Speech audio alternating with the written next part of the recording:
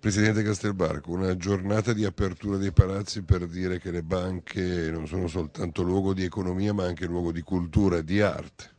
Assolutamente, l'arte e la cultura fanno parte dell'economia, quindi è giusto che ci sia questa occasione in cui la gente può vedere, può ammirare le opere d'arte che ci sono, che poi sono opere d'arte di tutta la comunità e di tutti gli azionisti della banca.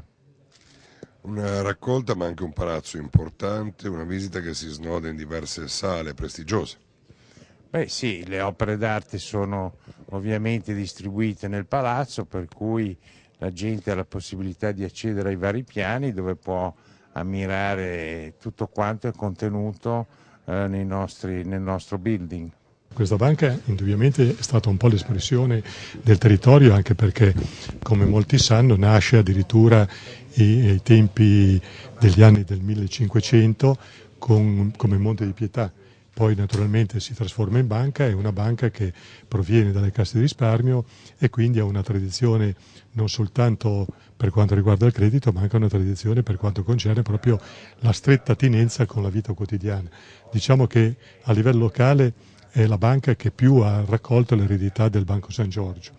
E naturalmente oltre la, accanto all'attività del credito ha portato anche l'attività di quello che è un po' la salvaguardia dei tesori di questa Liguria. Man mano che passavano gli anni venivano acquisite queste opere che molte volte venivano anche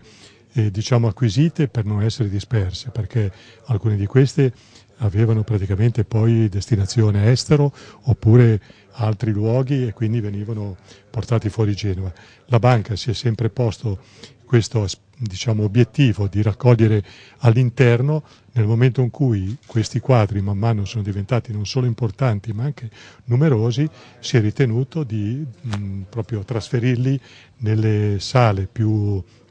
diciamo, più vicine per quanto concerne gli aspetti di carattere istituzionale, quindi anche nei confronti proprio del rapporto con l'esterno e quindi di raccoglierli in una quadreria che io ritengo non ha nulla da invidiare anche per quanto riguarda i migliori musei che abbiamo qui a Genova.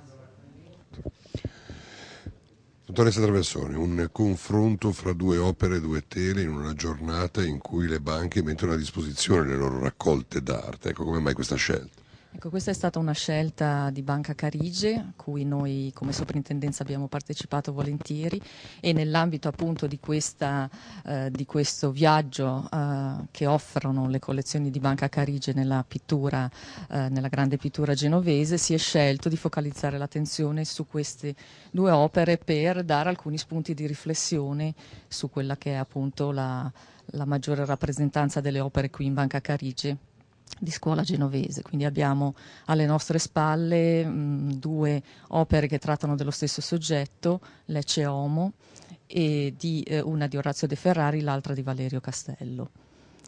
Due pittori che, contemporanei che si sono, nel, sono stati protagonisti della scena, della ribalta artistica nella prima metà del Seicento e che pur eh, diciamo, avvalendosi degli stessi testi, delle stesse fonti, raggiungono poi due obiettivi diversi. Loro, è questa la parte interessante, diciamo, il fatto che poi ognuno sceglie una poetica, di concentrarsi su una poetica diversa.